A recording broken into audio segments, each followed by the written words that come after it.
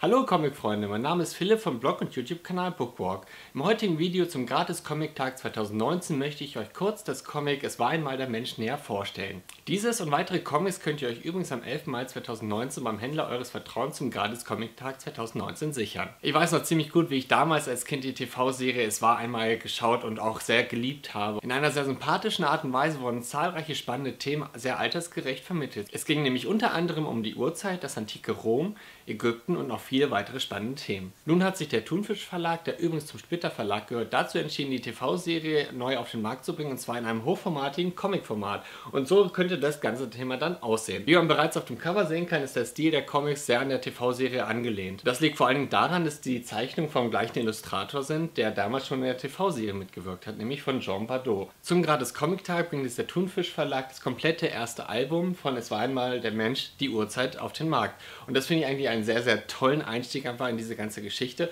und mal die Menschheitsgeschichte auf einer sehr sympathischen Art und Weise nachzuempfinden. Wie bereits in der TV-Serie wird auch in der Comic-Adaption die bewährte Kombination aus Wissensvermittlung und Humor beibehalten. Und wenn man ehrlich ist, ist es einfach auch super süß anzusehen. Ich meine, guckt euch doch mal diese Illustration ein. Hier vorne habt ihr direkt als Begrüßung den Maestro und es geht einfach so weiter. Es ist einfach so unfassbar süß anzusehen vor allen Dingen jetzt am Anfang der Urzeit geht es da los, wie einfach die ganze Erde entstanden ist. Das ist natürlich sehr grob abgehandelt und kindgerecht natürlich, aber ich finde es einfach super süß gemacht und von Dinos bis zu den ersten Menschen ist einfach so viel hier einfach enthalten und ich hatte sehr, sehr viel Spaß einfach mit diesem Comic und ich denke, vor allen Dingen auch für die jüngere Zielgruppe, wo auch dieses Comic jetzt für auf den Markt gebracht worden ist, die werden da sehr, sehr viel Spaß dran haben. Und ich persönlich als erwachsener Leser hatte trotzdem, obwohl halt die Zielgruppe die jüngere Leserschaft ist, immer noch wahnsinnig viel Spaß mit Es war einmal der Mensch, die Uhrzeit und ich freue mich schon darauf, die weiteren Bände mit Ägypten, Rom und was es alles noch gibt, weiterhin zu lesen. Es war einmal der Mensch ist übrigens einer von insgesamt vier Titeln, die es zum Gratis-Comic-Tag aus dem Splitter Verlag gibt. Insgesamt wird es übrigens 34 Titel am Gratis-Comic-Tag geben und das sind nicht nur Comics, sondern auch einige Mangas. Und diese Kombination aus Comic und Manga ist dabei nicht nur für jüngere Leserinnen und Leser, sondern auch für erwachsene Leserinnen und Leser sehr gut geeignet. Wenn ihr übrigens wissen möchtet, welche Hefte es am Gratis-Comic-Tag gibt, dann empfehle ich euch auf jeden Fall die Homepage zum Gratis-Comic-Tag,